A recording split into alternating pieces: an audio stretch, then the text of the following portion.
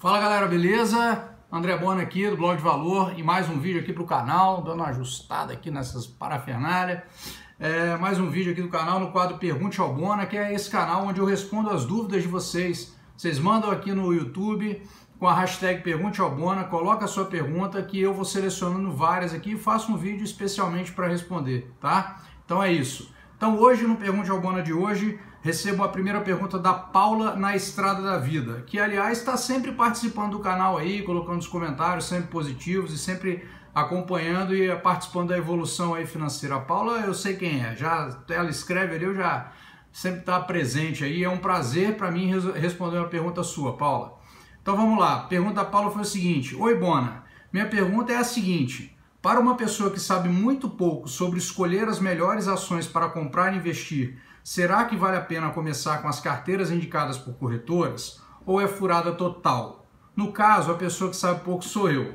Bom, vamos lá, Paulo. É o seguinte: a questão das carteiras nas corretoras não é que as carteiras que as corretoras vão indicar sejam ciladas, elas não fazem é, escolhas de ações é, para prejudicar o investidor. Isso não, não, não, é, não é assim que funciona, tá? Mas a grande questão é que as corretoras elas ganham grana com as compras e vendas. Então imagina, você tem um serviço, né? você tem uma corretora, aí você disponibiliza a, a ferramenta de, de, de compra e venda de ações. Aí o investidor, pô, mas eu queria saber aonde que eu invisto. Ah, então toma aqui umas carteiras recomendadas. Né? Então é um serviço que ela agrega ali na prestação de serviço. Mas é, a questão é que como ela é remunerada pela compra e venda de ação, ela não vai nunca te te, te, te, montar uma carteira que você fica com a mesma carteira por 10 anos, entendeu?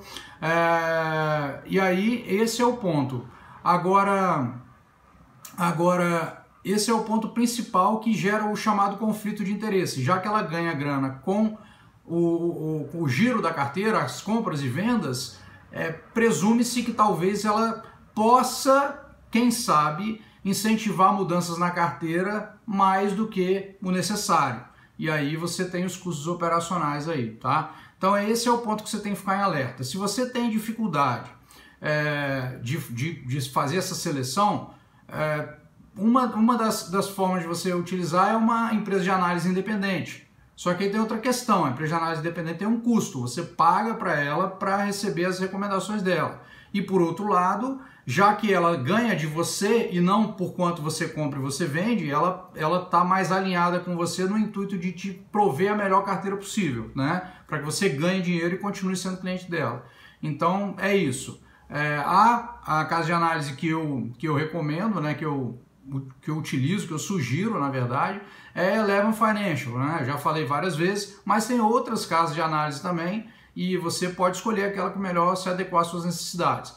Tem o lado da casa de análise que, dependendo do montante que a pessoa vai ter para investir, o custo do serviço pode impactar, e aí é uma coisa que cada um individualmente vai sentir de uma forma esse impacto do custo na carteira. E uma outra possibilidade que você teria é, pela sua pergunta, eu entendo que você ainda não fez investimento em ações. Então, antes mesmo de saber exatamente a escolha das ações e tudo mais, porque isso você vai, ao longo de toda a sua vida, vai melhorando. Isso não vai chegar uma hora que você, ah, agora eu sei e escolho, tá? Isso aí todo dia a gente vai aprimorando, aprendendo uma coisa a mais, aprendendo mais sobre a empresa, as empresas vão se modificando ao longo do tempo. Então isso nunca acaba. Então o aprendizado nunca vai acabar. Mas eu acho que uma primeira coisa é você é, identificar o seu perfil para ver se você vai se sentir bem com as oscilações do mercado de ações. E aí eu acho que um fundo pode te ajudar, um fundo de ações ou um ETF, porque você sai da pressão da escolha dos ativos, você vai ter um gestor que vai fazer isso, e você vai ter a tranquilidade de, de verificar se aquelas oscilações do mercado de ações são compatíveis com, a, com o seu perfil. Porque as ações vão oscilar de qualquer jeito, por mais que você estude, é da natureza delas. Mesmo que você invista tudo perfeitamente, você estude o máximo, tenha todo o conhecimento do planeta, ainda assim as ações oscilam. Então isso não tem como evitar. Então eu acho que é importante você primeiro ver se isso é compatível com o seu perfil de investidor, tá? Então é isso. Muito obrigado pela sua pergunta. Foi um prazer responder essa pergunta sua aqui, tá bom, Paulo? Bom, a outra pergunta da Daniela. A Daniela pergunta assim: é, estou avaliando investir em um fundo de renda fixa, mas avaliando as informações do fundo, parece, aparece o, o valor da taxa de administração e da taxa máxima de administração. Qual é a diferença entre essas duas taxas? Em que circunstância a taxa máxima de administração pode ocorrer? Grata desejar. Daniela, eu já fiz um vídeo no canal sobre isso, mas obrigado pela pergunta, que tem gente que não viu o vídeo, né? Tem mais de 500 vídeos no canal, então vamos, vamos retomar esse assunto aí. É, um fundo de investimento, ele investe né, nos ativos, certo? Mas ele também pode investir em outros fundos de investimento. Então a taxa de administração máxima significa o seguinte, Vamos supor que um fundo invista em outros fundos de investimento também. Ele pode comprar ativos ou outros fundos de investimento. Nesses outros fundos de investimento tem taxa de administração. Então, quando ele faz isso, em tese você tem um cascateamento de custos de administração do fundo onde ele investiu e do fundo que ele mesmo cobra. Então, isso eleva o custo de administração para o cotista, para o investidor.